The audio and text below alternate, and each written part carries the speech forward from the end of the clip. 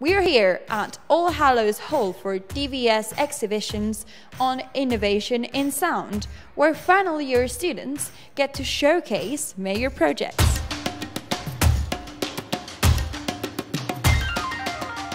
We are in our final year of the music production and sound engineering degree at DBS. This is one of our final major projects. and it is called SENSUS. And we have decided to build various exhibitions that focus on visualizing sound. We've made them as interactive as we can so people that are coming along can get involved and push buttons. One of the main aims of it as well was to focus on people that are deaf or hard of hearing, so all about visualizing sounds, kind of getting an experience that they uh, might not otherwise be able to have.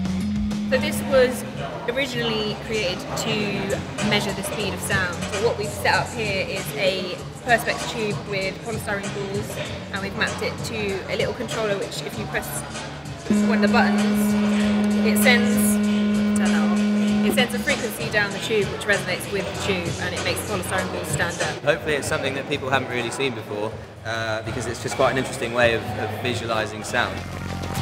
It's basically just corn flour and water. It has a really strange consistency that behaves like a liquid until it's put under stress, and then it starts behaving more like a solid. So you can hit it, but you can also it can also run through your fingers. Uh, when we have it in the speaker, um, it solidifies and then it's under stress. So when we've got, uh, we're playing a sine wave at 40 hertz through it, which so the, the driver is vibrating and it kind of, it looks like it's dancing and kind of builds up on itself and then seems to kind of try and climb out of the driver. It's kind of like the star of the show, really. Basically, it's a uh, steel pipe with equally spaced holes filled into the top of it. It's got two gaslets in the side. One end is completely sealed, and one end has a rubber membrane.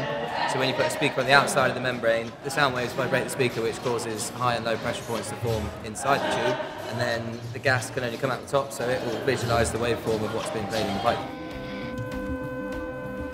This is the Chladni plate, um, and it works on similar principles as our other exhibitions. Once you send a frequency that vibrates, that resonates with the plate on top, the vibrating plate on top, it begins to form cymatic patterns on the top due to nodal lines throughout the plate. So it's basically areas of movement and non-movement again.